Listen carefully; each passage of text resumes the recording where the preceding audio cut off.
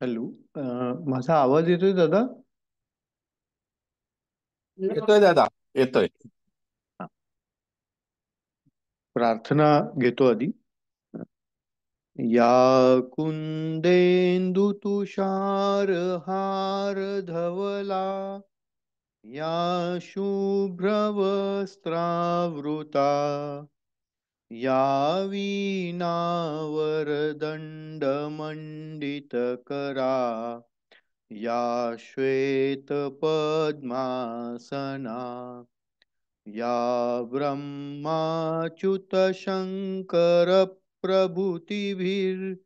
देवे सदा वन्दिता.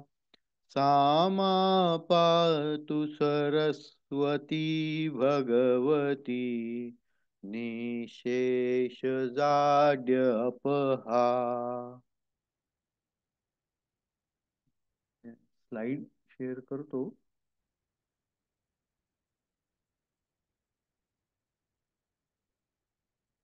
आपण मागच्या वेळेला उजळणी पाहत होतो.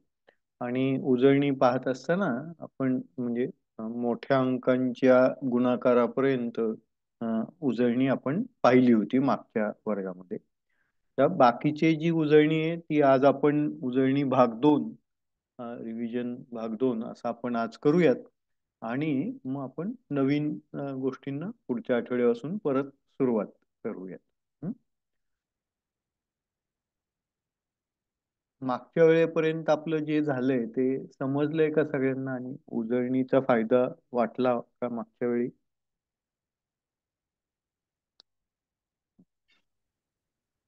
हो दादा. हो. म्हणजे स्क्रीन दिसते सर्वांना? हो.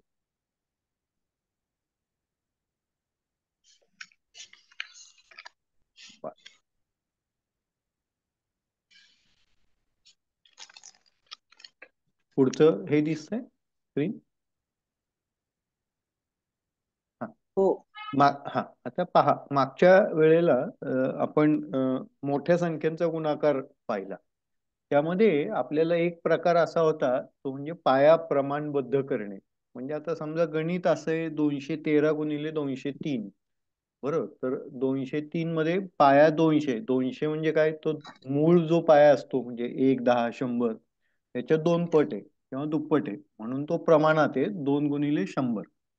मग दोनशे तेरा गुणिले दोनशे तीन कसं केलं? तर दोनशे पासून विचलन काढलं तर ते तेरा आहे. दोनशे तीन म्हणजे विचलन तीन आहे. मग तेरत्रिक एकोणचाळीस तर दोनशे म्हणजे मूळ जो शंभर पाय आहे त्याच्यामध्ये तीन दोन शून्य आहेत. म्हणून उजवीकडे दोन अंक आहेत थर्टी नाईन किंवा एकोणचाळीस. आता डावीकडचा जो दोनशे तेरा अधिक तीन म्हणजे दोनशे सोळा फक्त पाया प्रमाणबद्ध आपण केलेला असल्यामुळे डावीकडची जी बाजू आहे म्हणजे दोनशे सोळाची ती आपल्याला प्रमाणबद्ध करणं अपेक्षित आहे. म्हणून ती आपण काय केली? दुप्पट केली. म्हणजे दोनशे सोळा गुणिले दोन केले. म्हणून ते आले चारशे बत्तीस. म्हणून उत्तर आलं चारशे बत्तीस एकोणचाळीस हे आपण शिकलो होतो. आता ऊर्ध्व तिर्यग्याम हे आपण पुढचं प्रकार शिकलो. म्हणजे काय? तर व्हर्टिकली आणि क्रॉस वाईज किंवा उभा आणि तिरकस असा अर्थ. आता समजा तेवीस गुणिले एक्केचाळीस करायचे तर पहिला कॉलम पहिल्यांदी गुणा. म्हणजे तीन स्टेप्स आहेत. दोन एन मायनस वन म्हणजे काय? दोन दोन अंकी संख्या आहे. म्हणजे दोन गुणिले दोन चार चार वजा एक तीन. म्हणून तीन पायऱ्या अपेक्षित आहेत. मग आता पहिलं काय केलं की उभ्या संख्यांचा गुणाकार. चार गुणिले दोन आठ. मग तिरकस गुणाकार. दोन गुणिले एक चार गुणिले तीन. चार त्रिक बारा बे कबे म्हणून चौदा. तीन एके तीन म्हणजे तीन तसेचे तसे चार तसेचे तसे एक पुढे गेला नऊ. असं आपण सूत्र पाहिलं. मग आता ऊर्ध्व गॅममध्ये आपण तीन अंकांचं सूत्र पाहिलं. म्हणजे काय? तीन अंक आहेत म्हणजे टू एन मायनस वन बरोबर सॉरी हे टू रेस टू एन नाही आहे टू एन मायनस वन आहे. तर ते टू एन म्हणजे तीन दुने सहा वजा एक म्हणून पाच स्टेप्स लागतील. बरोबर आता पाच स्टेप्स कसे आहेत? पहिला अंक पाच त्रिक पंधरा. मग पहिले दोन अंक पाच दोन्ही दहा तीन शून्य शून्य. म्हणून दहा. पाच एके पाच म्हणजे एक्स्ट्रीम जे कॉलम आहेत त्यांचा गुणाकार. पाच एके पाच चार गुणिले तीन चार त्रिक बारा. बारा पाच सतरा. दोन आणि अधिक दोन शून्य शून्य. म्हणून शून्यच आहेत. म्हणून सतरा आले. मग पुढचा. पहिला कॉलम सोडून द्या. मग पुढचा. शून्य गुणिले एक चार गुणिले दोन. चार दोन्ही आठ शून्य एक शून्य. म्हणून आठ. चार एके चार. मग आता संख्या फक्त ऍडजस्ट केलं. चार आठ साताशी सात एक पुढे गेला दहा एक अकराशे एक एक पुढे गेला पंधरा एक सोळा. आता रांगोळी कशी होती पहा. पहिले पहिले दोन डॉट जोडले. मग पहिले दोन डॉट जोडले. बरोबर? मग पहिले आपण पहिला आणि शेवटचा तिसरा हा शेवटचा आणि मधले दोन जोडले. नंतर काय पहिला सोडून दिला. मग हे दोन जोडले. शेवटचे दोन जोडले आणि शेवटचा एक जोडला. असं आपण केलं. आणि आता याच पद्धतीने चार अंकांचं होतं पाच अंकांचं पण करता येतं आपल्याला. आता पहा म्हणजे पुढचं आपण पाहिलं होतं संख्येचा वर्ग करणे. म्हणजे आता ज्या संख्या पाचने समाप्त होतात किंवा एंड होतात त्यांचं कसं करायचं होतं? ते एकाधिक एंड पूर्वेन सूत्र आहे. म्हणजे आधीच्या संख्येचं एकने जास्त घ्यायचा. म्हणजे दोनाच्या पुढची संख्या येते तीन. म्हणजे तीन दुने सहा आणि पाचाचा वर्ग पंचवीस त्याच्यासमोर लिहायचा. बरोबर आता पायाजवळील संख्यांचा वर्ग कसा काढायचा? समजा अठ्ठ्याण्णव आहे. तर अठ्ठ्याण्णवचा पाया शंभर आहे. मग शंभरातून विचलन दोनच आहे. मग पहिल्या त्या अठ्ठ्याण्णव मधून दोन वजा करा तो पहिला भाग आला आणि विचलनाचा वर्ग काढायचा. म्हणजे विचलन दोनच आहे. म्हणून दोन गुणिले दोन चार. परंतु शंभरामध्ये पाया दोन शून्य आहेत. म्हणून उजवीकडे दोन अंक आले पाहिजेत. म्हणून आपण काय लिहिलं? शून्य चार लिहिलं. बरोबर? आता एक हजार बारा आहेत. मग आता बा विचलन कितीच आहे? बाराच आहे. म्हणजे एक हजार बारा अधिक बारा म्हणून एक हजार चोवीस. बरोबर? आणि बारा गुणिले बारा. बारा बारा एकशे चव्वेचाळीस. पायामध्ये तीन शून्य आहेत म्हणून तीन अंक आले. म्हणून एकशे चव्वेचाळीस तसेच्या तसे ठेवले. आपण हे पाहिलं. त्याच्यानंतर दुहेरी कसं काढायचं आपण पाहत होतो. एक अंकाचा दुहेरी म्हणजे काय? त्यानेच त्याला गुणणे. म्हणजे चार गुणिले चार चार चौक सोळा. दोन अंक असतील तर चार गुण आपापसात गुणाकार गुणिले दोन. म्हणून चार दुने म्हणजे दोन गुणिले चार गुणिले पाच. म्हणजे पाच चौक वीस आणि वीस दुने चाळीस. बरं आता तीन अंक असतील. तर आउटर बाहेरच्या दोन संख्यांचा गुणाकार गुणिले दोन. अधिक मधल्या दोन संख्यांचा गुणाकार. म्हणून चार गुणिले तीन गुणिले पाच अधिक चार गुणिले चार. चार म्हणजे पाच ते पंधरा दोन्ही तीस आणि चार चौक सोळा. म्हणून उत्तर आलं सेहेचाळीस. बरोबर? कृपया समजा तुम्हाला समजलं नाही तर मध्येच मला थांबवा बरं का. कारण मी थोडस फास्ट शिकवतोय. कारण रिव्हिजन आहे. परत दोन अंकी संख्येचा वर्ग कसा करायचा तर एका अंकी संख्येचा वर्ग तर माहिती म्हणजे त्याचा डुप्लेक्स काढायचं. म्हणजे काय असतं कुठल्याही संख्येचा वर्ग म्हणजे काय त्याच्या डुप्लेक्स काढणे किंवा द्वंद्व काढणे आणि त्यांचे एकत्रित स्थानिक समायोजन करणे याला द्वंद्व काढणे सॉरी याचं वर्ग करणे असं म्हणतात. एका अंकाचा द्वंद्व म्हणजे काय तर त्याचा डुप्लेक्स म्हणजे चार गुणिले चार. दोन अंकी असेल तर काय पहिल्या संख्येचा डुप्लेक्स म्हणजे चार गुणिले चार सोळा. दोन अंकाचा डुप्लेक्स दोन गुणिले चार गुणिले सहा अठ्ठेचाळीस. सहाचा डुप्लेक्स छत्तीस त्याचं स्थानिक समायोजन कसं होईल? सोळा अठ्ठेचाळीस छत्तीस. म्हणून सहा तसेच्या तसे अठ्ठेचाळीस आणि तीन एक्कावनशे एक पाच पुढे गेले सोळा आणि पाच एकवीस. म्हणून उत्तर आलं दोन हजार एकशे सोळा. तीन अंकी संख्यांचा वर्ग म्हणजे प्रत्येक संख्येचा डुप्लेक्स काढायचा म्हणजे द्वंद्व काढायचा. म्हणजे एकचा द्वंद्व एक तीनचा द्वंद्व एक तीन चारचा द्वंद्व तीन चारचा द्वंद्व चारचा द्वंद्व. बरोबर? एकचा द्वंद्व एक गुणिले एक एक तीनचं काय दोन गुणिले एक गुणिले तीन हे तर माहिती आहे. दोन गुणिले एक गुणिले चार आणि तीन गुणिले तीन म्हणून सतरा. तीन आणि चारचा द्वंद्व चार त्रिक बारा गुणिले दोन म्हणून चोवीस चार चौक सोळा. बरोबर? म्हणून संख्या कुठली आल्या एक सहा सतरा चोवीस सोळा. त्यांचं स्थानिक समायोजन सहा तसे चोवीस आणि एक पंचवीस दोन पुढे गेले सतरा दोन एकोणीस. एक पुढे गेला सहा आणि एक सात आणि एकाशी एक. चार अंकी संख्या. चार अंकाचं कसं केलायचं आपल्याला? चार तीन तीन दोन. म्हणजे चारचा द्वंद्व चार तीनचा द्वंद्व चार तीन तीनचा द्वंद्व चार तीन तीन दोनचा द्वंद्व तीन तीन दोनचा द्वंद्व तीन दोनचा द्वंद्व आणि दोनचा द्वंद्व फक्त महत्त्वाचा वेगळा भाग काय चार तीन तीन दोनचा. म्हणजे काय? बाहेरच्या दोन संख्या गुणिले दोन अधिक आतल्या दोन संख्या गुणिले दोन. म्हणजे त्याची दुप्पट. दोन गुणिले चार गुणिले दोन किंवा दोन गुणिले तीन गुणिले तीन म्हणून सोळा अधिक अठरा म्हणून चौतीस. आलेल्या संख्या कशा होत्या? सोळा चोवीस तेहतीस चौतीस एकवीस बारा चार. त्या मांडल्या आणि त्याचं फक्त समायोजन करून घेतलं. चार दोनाशी दोन एक पुढे गेला बावीस आणि तेवीस. सॉरी एकवीस आणि एक बावीस म्हणून दोन. बरोबर? असं आपण करत उत्तर काढलं. अठरा शहात्तर बासष्ट चोवीस. बरोबर? हे म्हणजे सोपं आहे. म्हणजे लॉजिक त्याचं आहे, फक्त चार अंकी संख्येचं द्वंद्व काढायचंय आपल्याला. बरोबर? तर आता पहा आकड्यांच्या वर्गाची पडताळणी कशी करायची? बरोबर? तर ज्या अंकांची बेरीज फक्त एक चार सात नऊ असते. सर्व अंकांची बेरीज डिजिट सम किती यायला पाहिजे? एक चार सात नऊ. किंवा ते अंकाचे जो शेवट आहे किंवा ते कशाने व्हायला पाहिजेत? एक चार पाच सहा नऊ शून्य या अंकाद्वारे ते संपले तर तो परफेक्ट वर्ग आहे किंवा बरोबर वर्ग आहे. म्हणजे आपण वर्ग काढला होता चार तीन तीन दोनचा आता त्या सगळ्या अंकांची बेरीज कशी केली? नऊ आपण वगळू शकतो. म्हणजे आठ एक वगळून टाकले सातून दोन वगळून टाकले. मग राहिले अंक किती? सहा सहा दोन चार. म्हणजे सहा चार दहा सहा दोन आठ म्हणून अठरा. अठरा म्हणजे नऊ. शेवटचा अंक आहे चार. म्हणून हा परफेक्ट वर्ग आलेला आहे. म्हणजे वर्ग तपासण्याची कसोटी आपण पाहिली. आता परावर्ते योजयेत परावर्ते योजयेत म्हणजे काय? समीकरणं कशी सोडवायची? परावर्ते म्हणजे बाजू बदलणे. आणि योजना करणे म्हणजे काय? तर चिन्ह किंवा त्याची विरुद्ध क्रिया करणे. यांचं योजन करणे. बरं? समीकरण कशाला म्हणायचं? तर ज्याची डावी बाजू इक्वल टू उजवी बाजू. असेल तर या अशा पद्धतीच्या मांडणीला समीकरण असं म्हणतात. बरोबर? तर आता परावर्तन करताना काय होईल? अधिकचं वजा. वजाचा अधिक. गुणाकाराचा भागाकार भागाकाराचा गुणाकार. अशा पद्धतीचे आपण गणित बघितले. पण ही तोंडी करायची आपण असं ठरवलं होतं. म्हणजे एक्स बा वजा तीन भागिले चार बरोबर पाच. तर कसं करायचं? पाच चोक वीस. वीस आणि वजा तीनच्या अधिक तीन म्हणून एक्स बरोबर तेवीस. अशा प्रकारची आपण गणित ही बघितली होती. म्हणजे तीन एक्स भागिले चार वजा पाच बरोबर पाच म्हणून पाच आणि पाच दहा. चार इकडे गेले म्हणजे दहा चौक चाळीस चाळीस भागिले तीन असं उत्तर येईल. बरोबर दोन एक्स अधिक एक भागिले तीन म्हणजे चार आता भागिले म्हणजे उजवीकडे जाताना गुणाकार.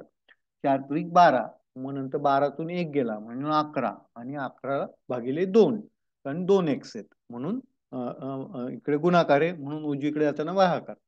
म्हणून उत्तर आलं एक्स भागिले दोन. अशा प्रकारची आपण गणितं पाहिली.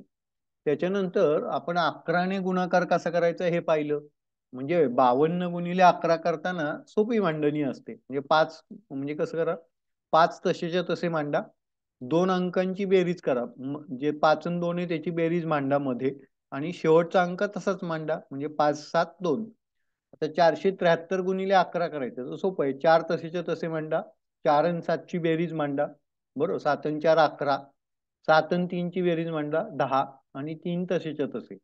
बरोबर? म्हणजे तीन तसेचे तसे शून्य तसेच तसे एक पुढे गेला अकरा आणि एक, बाराशी दोन तसेच्या तसे एक पुढे गेला चार आणि एक पाच. म्हणून उत्तर आलं बावन्न शून्य तीन. असं हे पाहिलं.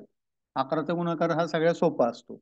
बरं आता एकाधिकेन पूर्वेनी गुणाकार कसा करायचा? पहा. म्हणजे सूत्र देते आहे एकाधिकेन म्हणजे पूर्वीपेक्षा एकने अधिक. बरोबर?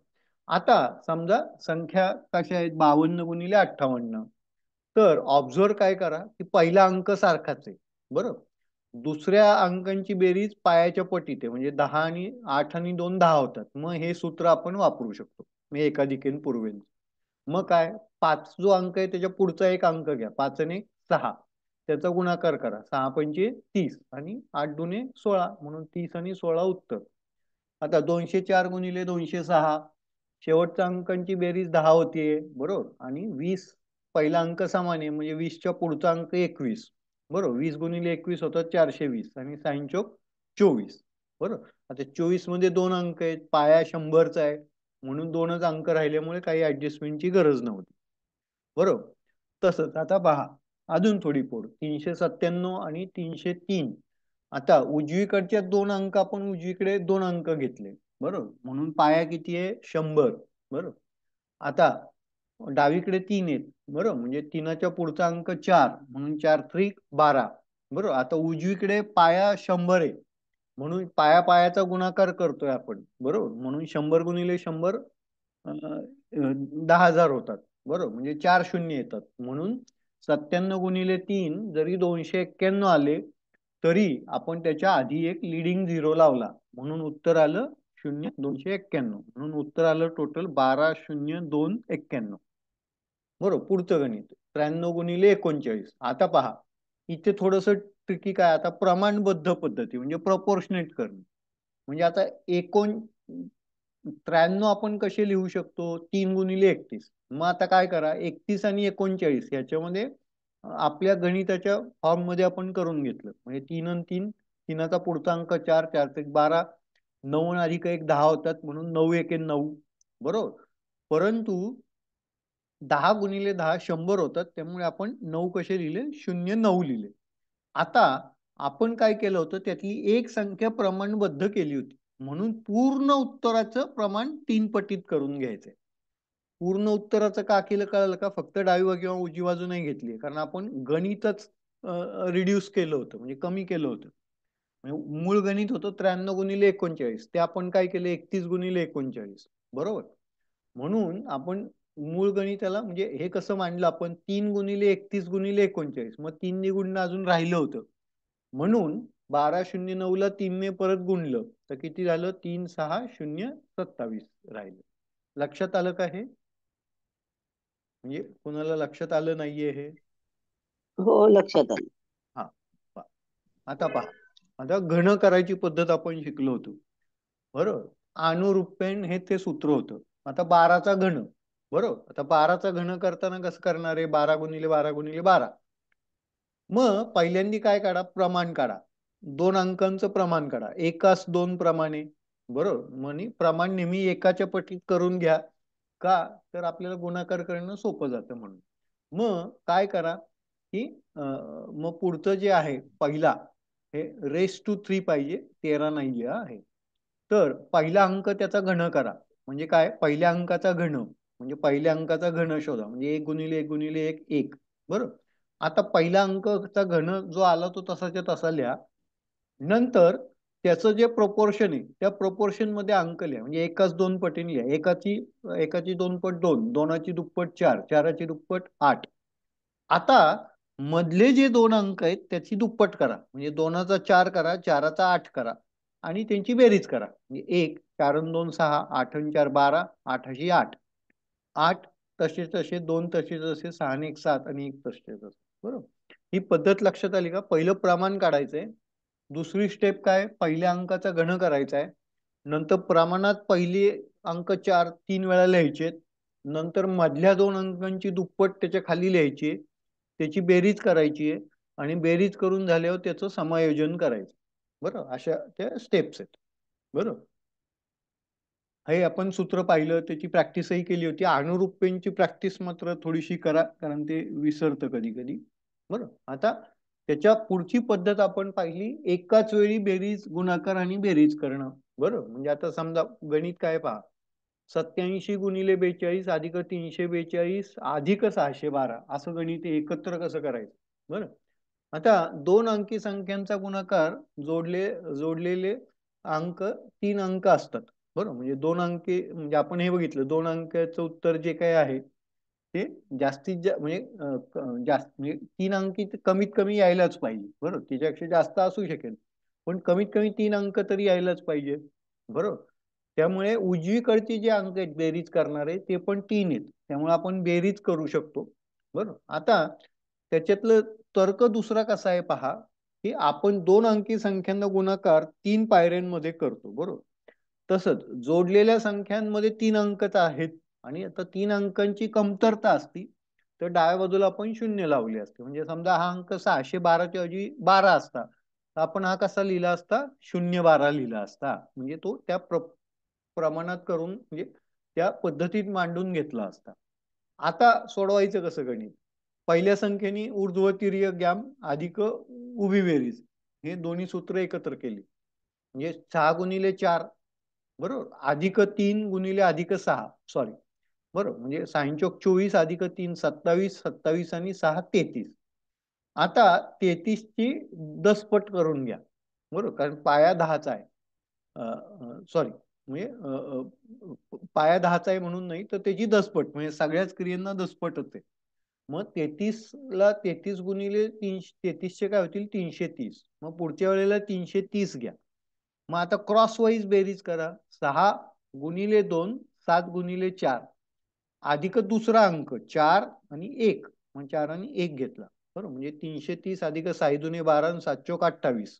बरोबर म्हणजे बारा अधिक अठ्ठावीस अधिक चार अधिक एक. बरोबर म्हणजे पंचेचाळीस होतात आणि तीनशे तीस अधिक पंचेचाळीस तीनशे पंच्याहत्तर. तीनशे पंच्याहत्तरची दसपट करून घ्या. म्हणजे तीनशे तीन हजार सातशे पन्नास. आता शेवटची स्टेप सात गुणिले दोन. बरं म्हणजे ऊर्ध्वतीय गॅम मधली शेवटची स्टेप म्हणजे शेवटच्या कॉलमचे गुणाकार. अधिक शेवटचा अंक दोन अधिक दोन. बरोबर? म्हणजे सात दोन चौदा दोन अधिक दोन. म्हणजे चौदा दोन सोळा दोन अठरा. आणि तीन सातशे पन्नासमध्ये अठरा मिळवले तर तीन सातशे अडुसष्ट होतात. बरोबर? हे कळालं का? ह्याची प्रॅक्टिस करा. कारण हे पण थोडस कॉम्प्लिकेटेड आहे. लक्षात राहायला कधी कधी चुका होतात. जितकी प्रॅक्टिस कराल तितकं ते तुमच्या डोक्यात पक्क बसेल.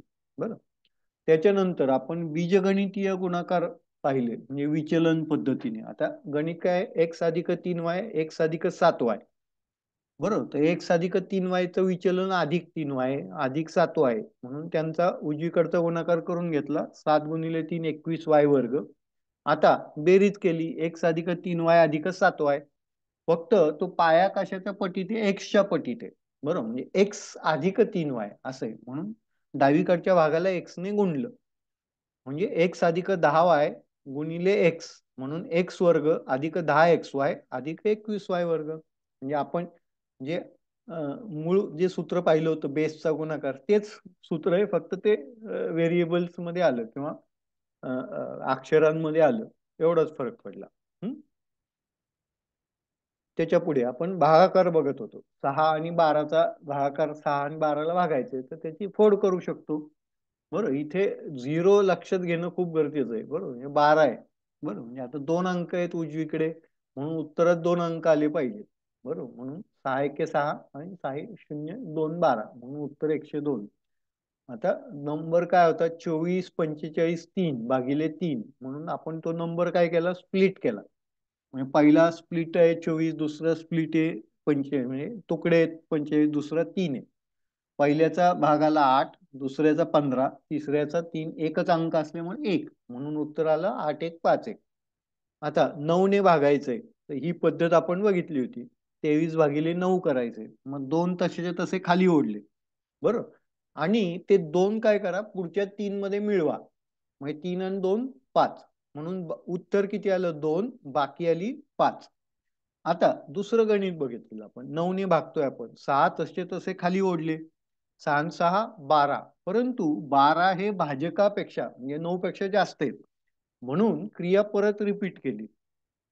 मग एक तसेच्या तसे खाली ओढले. दोन आणि एक तीन. बरोबर? म्हणून परत भाज्य किती आलं? एक आणि बाकी आली तीन. म्हणून मूळ जे उत्तर आलं होतं सहा त्याच्यामध्ये तो एक मिळवला म्हणून फायनल उत्तर आलं तीन आणि उरलेली बाकी तीन सॉरी उत्तर आलं सात आणि उरलेली बाकी तीन तशीच्या तशी. म्हणजे नऊनी भागणं सुद्धा सोपं आहे. त्याच्यानंतर आपण ध्वजांकाची पद्धत पाहिली. बरोबर? ध्वजांक पद्धत पाहताना आपण काय केलं समजा? गणित माझं आहे तीनशे एकवीस भागिले त्रेसष्ट. बरोबर? तर त्रेसष्ट करताना आपण कसं केलं? तीन वर मांडले सहा खाली मांडले. बरोबर?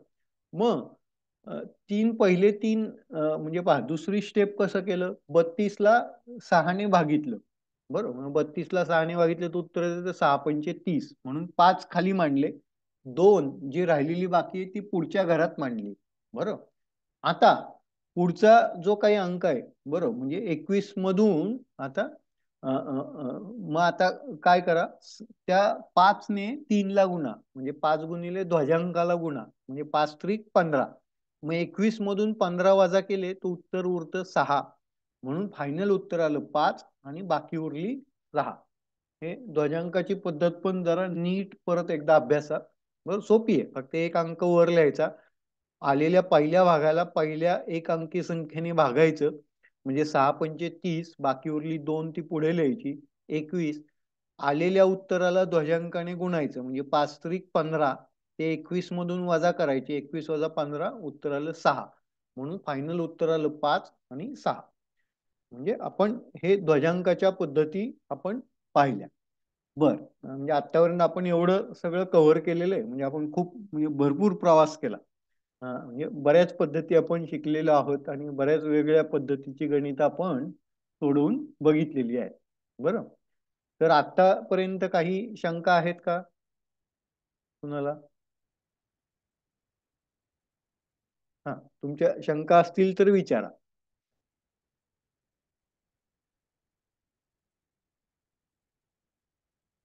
सॉरी मी खूपच फास्ट गेलो का? नाही दादा हा. तसं काही नाही. हा म्हणजे रिव्हिजन असल्यामुळे मला थोडस म्हणजे सत्तावीस आठ वीस एक स्लाइड कव्हर करायच्या होत्या. बरोबर? त्याच्यामुळे. मी नॉर्मली एक दहा बारा स्लाइड मी ठेवतो कारण मग ते वेळेत आपल्याला बसतं म्हणून. आणि पुन्हा प्रॅक्टिस करायच्या वेळेला जर काही अडचण आली तर परत विचारता हा येईलच परत तुम्ही कधीही मला विचारू शकता? असं काहीच अडचण नाही अडचणीच नाही की अडचण आली तर विचारा. बरोबर? म्हणजे व्य- पायऱ्या पण व्यवस्थित दिल्या असल्यामुळे हा. हा बोला ताई बोला ताई. भागाकाराचं अजून एखादं गणित घेत हो. सांगू शकता का? भागाकार घेऊ शकतो हा एकच मिनिट. मी ते स्लाइड ओपन करतो ताई.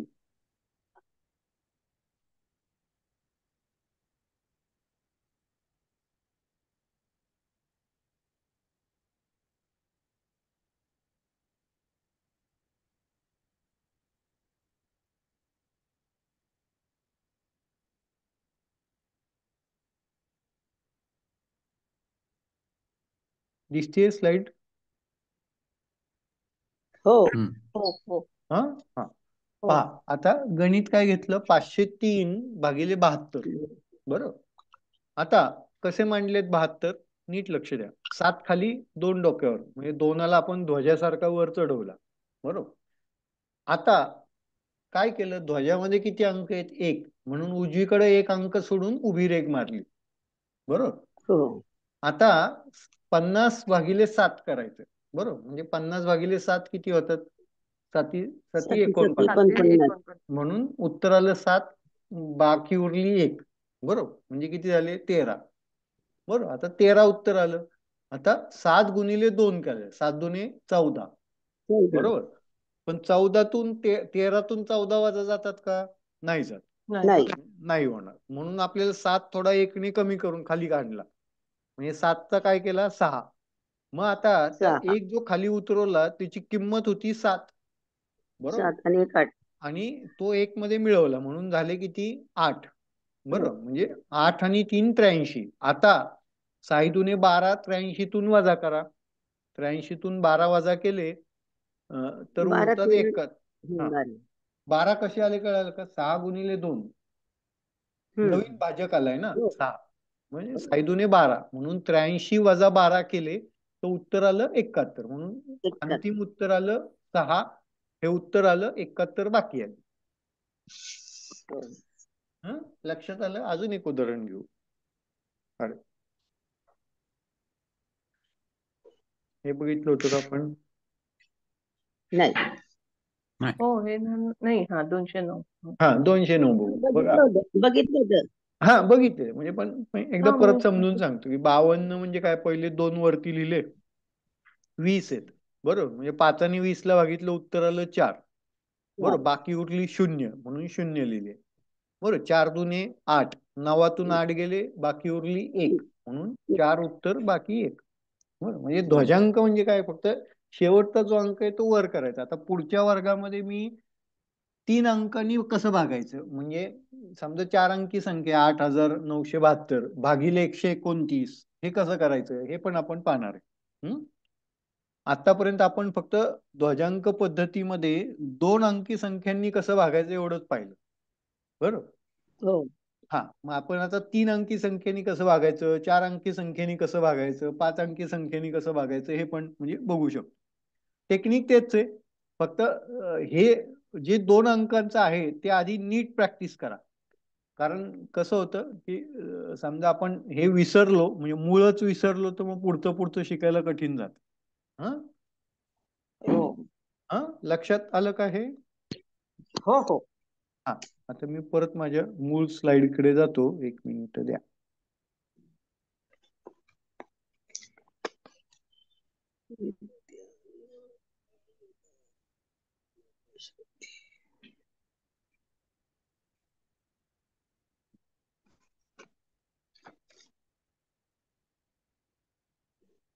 दिसतीये स्लाइड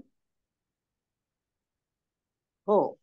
हा पहा. म्हणजे आपण रिव्हिजन करत होतो त्याच्या स्लाइड्स आहेत. बरं. तर आज आतापर्यंत काही शंका आहेत? नाही.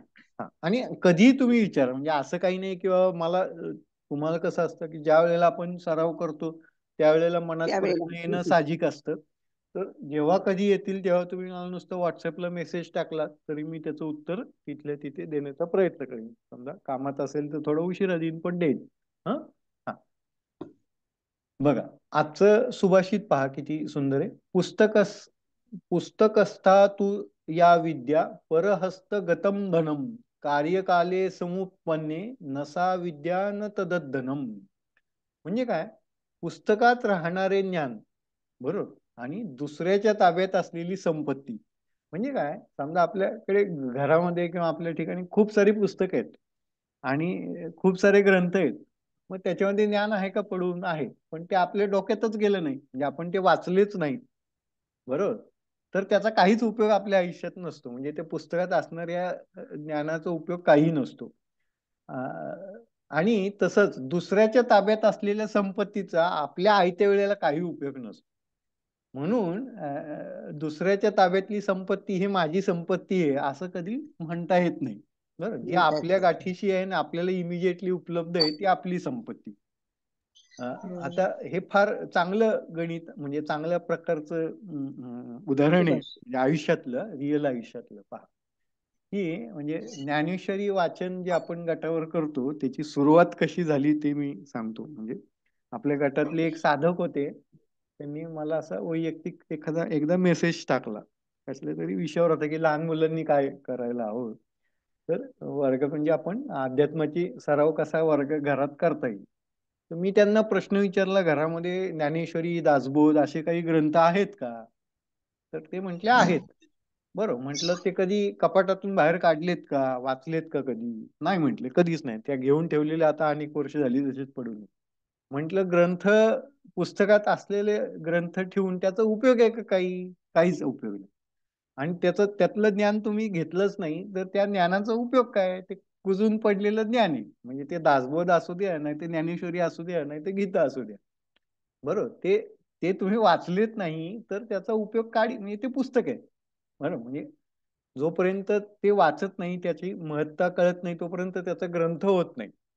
बरोबर? त्यामुळे वाचला की ग्रंथ वाचण्याआधी ते पुस्तक. बरोबर? मग तसं त्यांना मी सांगितलं की ती ज्ञानेश्वरी वाचायला काढा. मग मला वाटतं मी गटावर ते मेसेजेस टाकले होते की कुठली पुस्तकं साधकांनी पाच पुस्तकं वाचायला पाहिजे या आयुष्यात.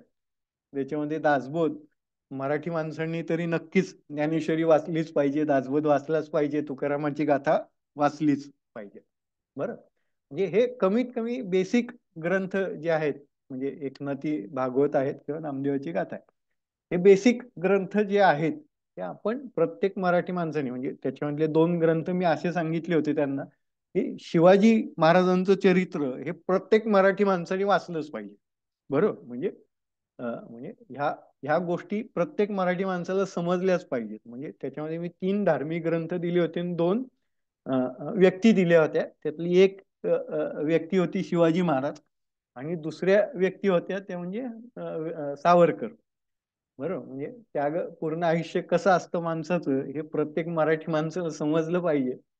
किंवा तुम्ही टिळक वाचा. म्हणजे तुमच्या ज्या पद्धतीचे विचार असतील तसे.